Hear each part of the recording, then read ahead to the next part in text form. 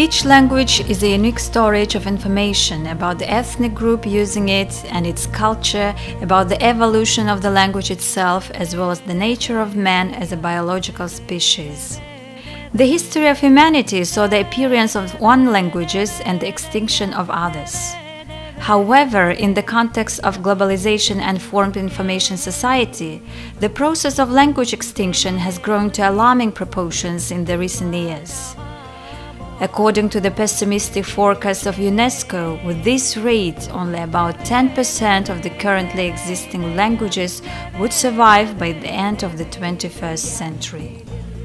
The challenge of our time is the preservation of traditions, cultures, languages, and traditional ways of life of indigenous peoples of the world, including the Arctic peoples and their representation in the global information space in the new multicultural environment of communication of the 21st century.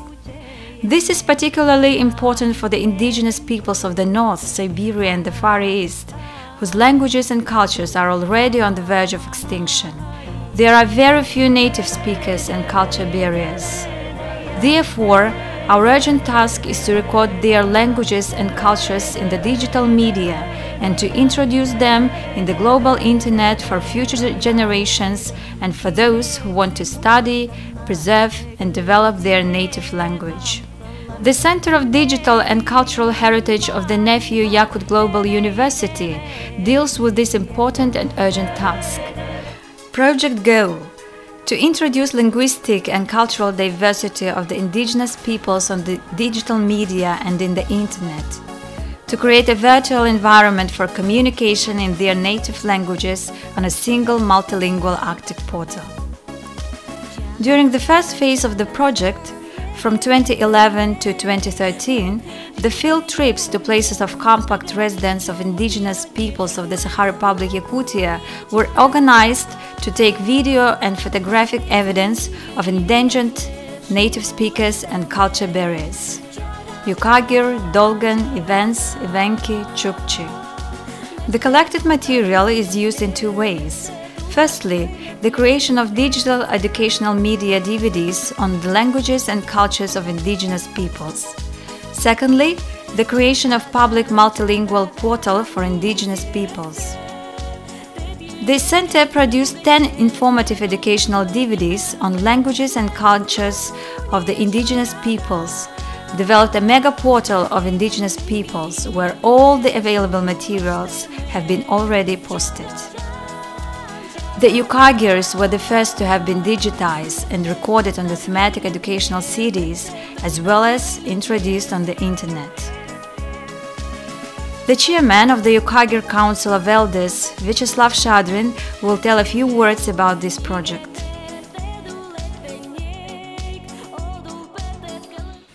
Since 2011, the Association of the Yukagirs of the Sakha Republic Yakutia and the Yukagirs Council of Elders have been cooperating with the NEFU Center of Digital and Cultural Heritage and implementing one of the most successful projects on preservation of the Yukagir language and culture in cyberspace and on digital media.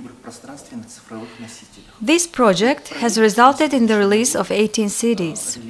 Some of them are textbooks to study the Yukagir language, such as phrasebooks, dictionaries, voice recordings of various manuals in Yukagir.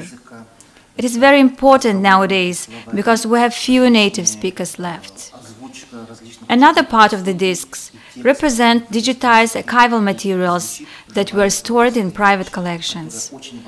The rest of the materials are materials on preservation of the Yukagir culture, its promotion and popularization. We do hope that the joint project with the Center of Digital and Cultural Heritage will continue and make a great contribution to the preservation and promotion of our culture and language. The work in this area has shown a great demand for the project, not only in the Sakha Republic Yakutia, but also in the other regions of the Russian Federation, where representatives of indigenous peoples live. In March 2013, this project was presented at the 7th Congress of Indigenous Peoples of the North, Siberia, and the Russian Far East in Salekhard, and excited great interest and support. In April 2013, the Arctic Multilingual Portal of Indigenous Peoples became a finalist of the Far East Internet Awards Siberian Queen in the section The Best Non-Commercial or Thematic Project in the Russian Far East. The next phase, since 2014, has been marked by the project expansion in the entire Russian Far East. The field trips for recording indigenous peoples on digital media were organized to Chukotka, Kamchatka, and the Khabarovsk Krai. Unfortunately, we haven't managed to cover all these ethnic groups, but in the nearest future we want to present all the indigenous peoples of the Russian Far East on the portal, and in the long run, all the indigenous peoples of the North, Siberia and the Far East.